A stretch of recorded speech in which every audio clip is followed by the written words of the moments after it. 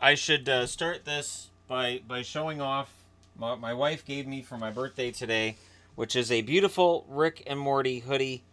It is amazing. It is fantastic, and she made it. She made it while I was at work today. So let's get schwifty and get down to the countdown.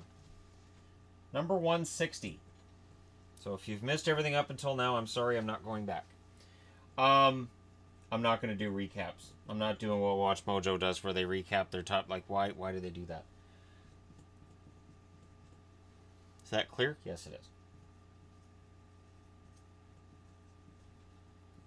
Number 60, Buffy the Vampire Slayer. This is the movie.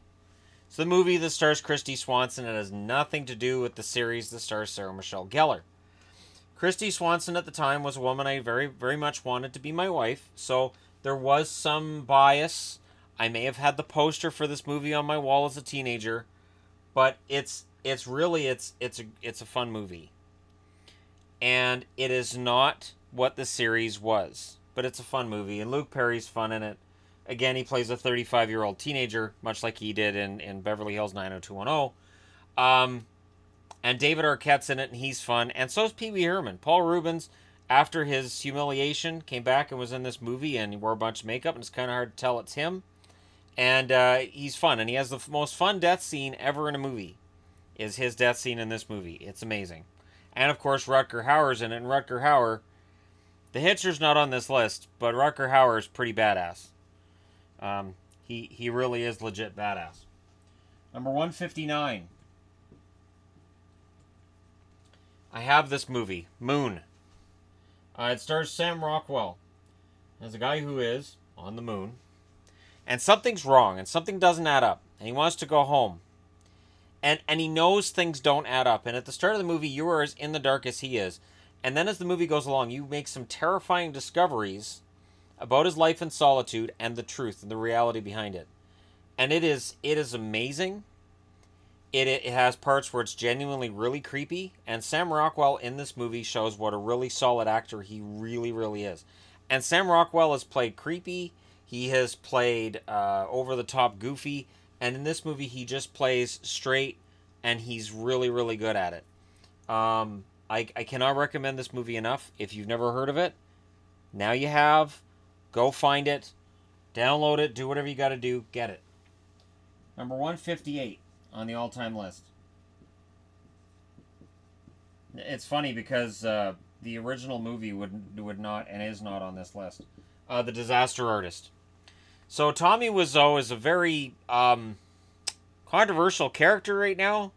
Uh, Tommy Wiseau has done a few things in his time, and he's this weird enigma wrapped up in a mystery. And this movie is just kind of a fun homage to crap. It, it really is. And there are people who say that it whitewashes what Tommy's past was and how Tommy really was when they were filming The Room. You know what? Who cares? It's a stupid movie. And if you want this real gritty version, you can read the book that it's based on. It's got more realism in there. This is just fun and goofy. This is genuinely just a fun, fun movie that uh, shows James Franco he James Franco's sort of a poor man's Johnny Depp in that in a lot of movies he will play a one note character, but he can usually pull it off.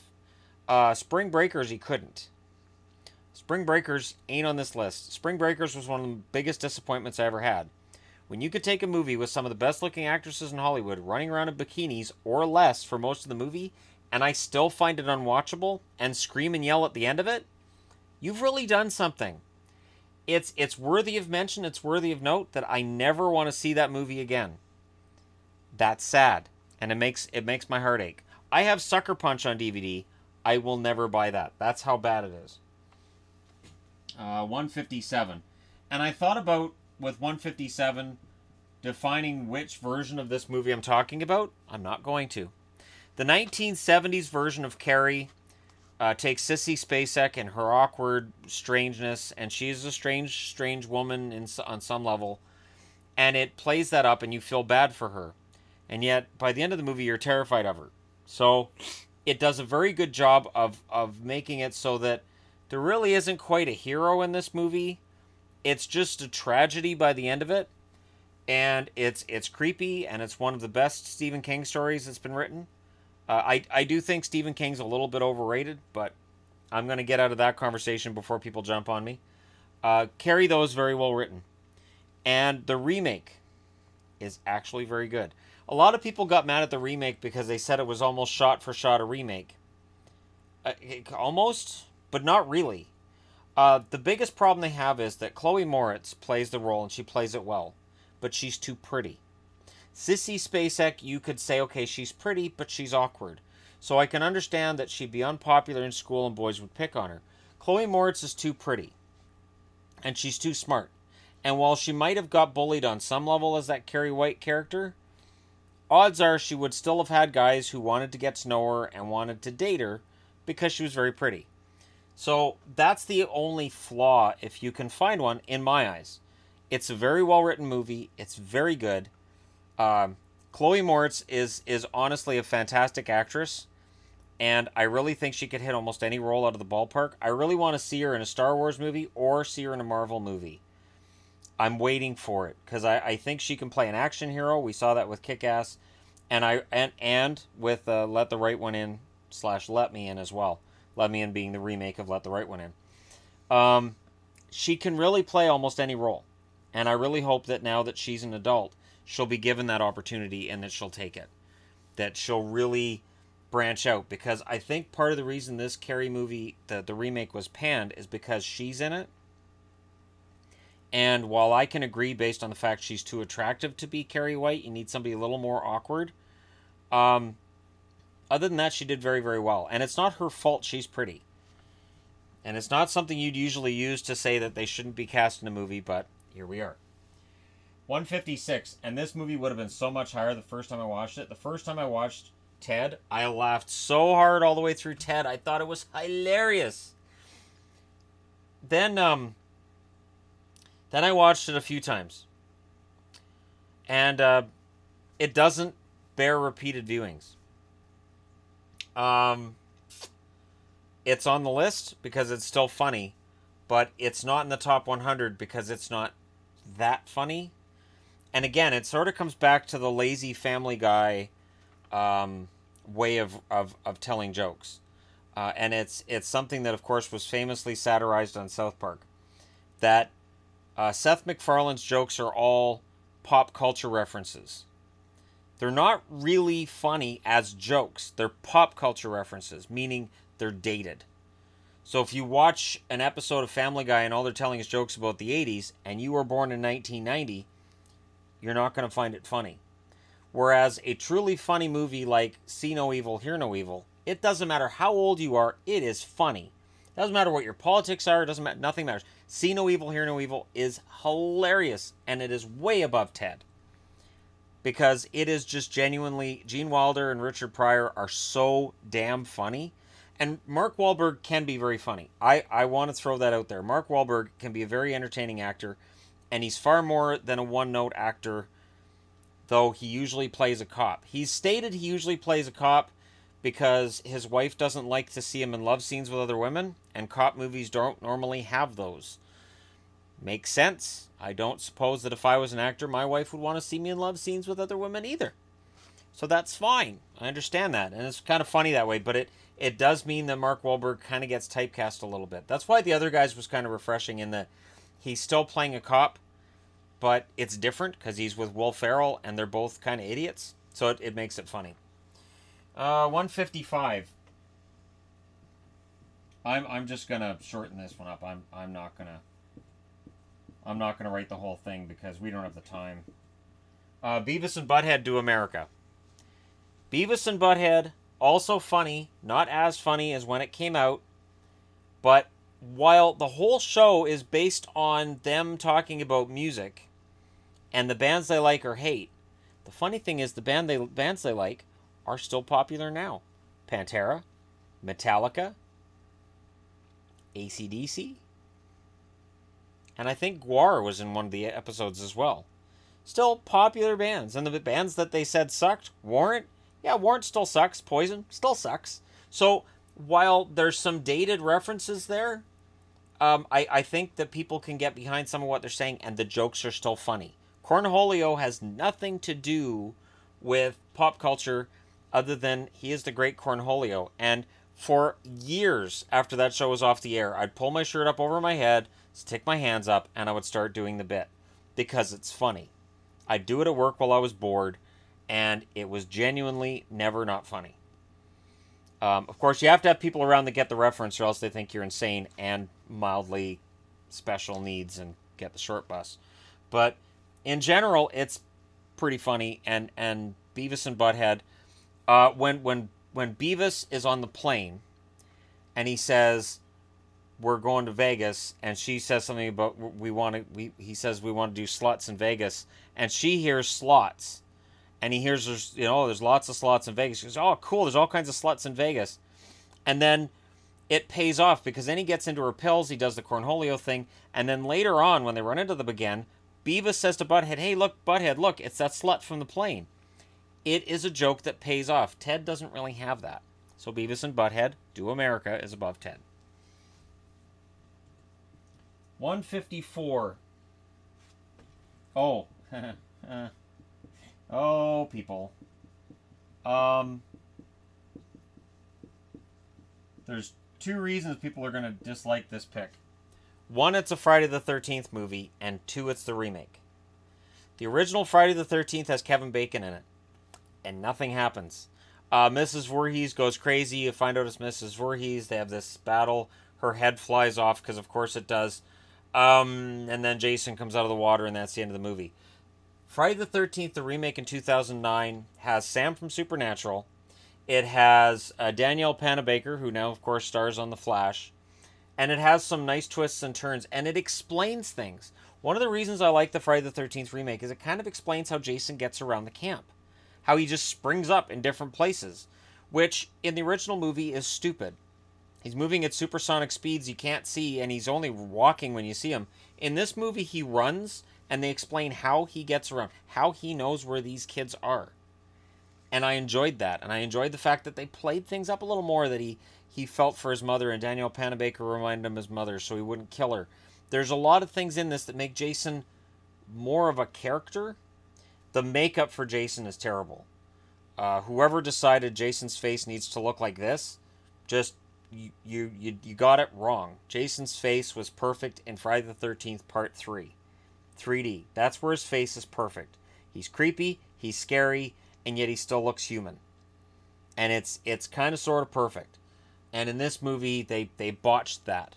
But there's enough good things about this that this is the only genuine Friday the 13th movie that makes the chart. Freddy vs. Jason is on here, but that's not just a Friday the 13th movie, is it? No, because Freddy's in it as well. If it had just been a Jason movie, it wouldn't have been nearly as much fun. Jason isn't fun, Freddy is. Jason is just a killer. He doesn't talk. Freddy doesn't shut up. So there's some fun with Freddy that you can't have with Jason and it makes Jason movies sometimes harder to get through and a little more tedious. Friday the 13th, 2009 combines parts 1 and 2 of the original series, makes them into one movie, which is perfectly fine, has 13 kills, and they're creative, they're not over the top gory, which made people upset. People were upset there wasn't enough gore, people were upset the body count wasn't high enough. There were all kinds of reasons people were upset, and I just thought, I thought it was ridiculous. I, I really did. Uh, there's a killer cut on Blu-ray if you want to see all the extra blood and guts. Rent the killer cut or buy the killer cut, but it really isn't that big a difference. It really isn't. Uh, 153. Let's show just how all over the place my chart is. Let's take a moment to think about this. ET is number 153. So it goes Carrie, Ted, Beavis and Butthead do America, Friday the 13th, and ET there are people who are going to watch this movie and go, uh, or th- watch this video and say, I'm done. He, he doesn't know what he's talking about. But E.T. genuinely lands in this spot for me. E.T.'s a fun movie, but it doesn't have the rewatchability. And that's big for me. How much I enjoyed a movie will determine very often how much I want to watch it again. E.T. I watched, I think, two or three times as a kid. I remember I bought it on VHS and I never watched it. So when it came out on DVD and Blu ray, I never bothered buying it because I knew I really wasn't going to watch it. I tried watching it on TV once with my kids. They both left the room. They didn't come back. It's it's a fun movie. It's entertaining. Elliott's fun. Uh, Drew Barrymore's adorable when she was younger. She was really, really sweet little girl and a very good actress for a little girl, I might add as well. Firestarter easily could end up on this list, but it's not. Uh, it was one of those final cuts from this list. Um, E.T. is a really fun movie. Uh, when he's when he's out on Halloween, he's under the sheet and he sees Yoda, and he starts following Yoda and saying "Home, home." It is one of the when I was a little kid, that was one of those things. I laughed so hard in the theater when he did that. I thought it was so clever. So yeah, E.T. is is a fun little movie, and Spielberg's fun, but there's not a whole lot of Spielberg movies on this chart.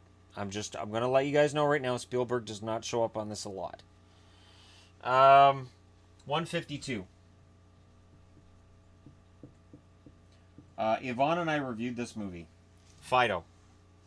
Fido is about a family in the 1950s in an alternate reality where they adopt a zombie. The zombie apocalypse has been controlled. Zombies get these little collars that stop them from killing people, and they make great slaves. I mean, servants. Uh, there's some heavy handed uh, social commentary in this movie, but you can ignore it and just enjoy the fun of it. Uh, Carrie-Anne Moss is fantastic. The little kids in this movie are fantastic when you're cheering the little kids being killed by a zombie, you feel horrible about yourself inside, and yet you don't stop cheering. Um, and Billy Connolly is the zombie who never says a word in the whole movie. Billy Connolly shows in this movie he doesn't need to say a word to be funny. And he doesn't need to say a word to bring across how he feels. And you genuinely, by halfway through this movie, you buy into the whole premise, you like Fido, and you don't want anything to happen to him. So when stuff starts happening and there's there's sort of this zombie outbreak going on, you're really genuinely concerned that they're going to take Fido because he's just a zombie. So one of the things this movie does is it says, you know what, he's just a zombie, so maybe we're going to do away with him. Maybe that's where this is headed. And you genuinely get scared for him. Um, but Fido's a great movie. Very, very enjoyable. A lot of fun. And for me, I'm okay with it being above E.T. Yeah, I'm okay with that. No, I will not redo this list. No, it's not a stupid list. Stop calling it a stupid list. Because if you thought that was bad, oh, wait for 151. I have this on DVD and Blu-ray. Oh, oh, Killer clowns from outer space. They're alien clowns. They have a giant tent. They wrap people in cotton candy to eat them. They hunt people with a balloon dog. There are so many fun moments in this movie. Killer Clowns from Outer Space is one of those gems. It is one of those 80s horror movies that has a, a comedic side to it because look at the name of it. And it's really underrated. Um, it, it has it has faces you'll recognize from every other 80s movie that there was at the time. And and yet it it's so strange and wonderful. It was one of the first horror movies I watched with my kids when they were growing up. Uh, and and they really enjoyed it. And it was it was one of those few horror movies I have that I could sit around and watch with my family and not worry like, oh, they're gonna have nightmares. Kids are scared of clowns anyways, so here they are. They're all murderers. Surprise! And kids are like, we knew they were murderers because they're clowns. Um, it is so much fun watching this movie, and uh, I cannot recommend it enough. Um, Killer Clowns from Outer Space does not make my 100 favorite movies, but it does make my 151st favorite movie. And if you haven't seen it, because you look at that title and go, what a piece of crap, you're wrong. This is a good movie. It's it's not The Postman in terms of its de- its depth and its drama, but on the be- on the good side, it's not the Postman. You don't have to watch Kevin Costner being horrible in this. It's also not the Patriot, which was this awful, horrible movie starring Heath Heath Ledger, and it was just awful. So this movie isn't that. That's the best way to sell it. Is Killer Clowns from Outer Space. At least it's not the Patriot. Might as well watch this one instead. And thank me later. Thanks for watching. Hit like and subscribe if you're browsing your way through. We just passed 1900 on this channel. Very excited about that. And thank you for all your support. I'll talk to you again soon.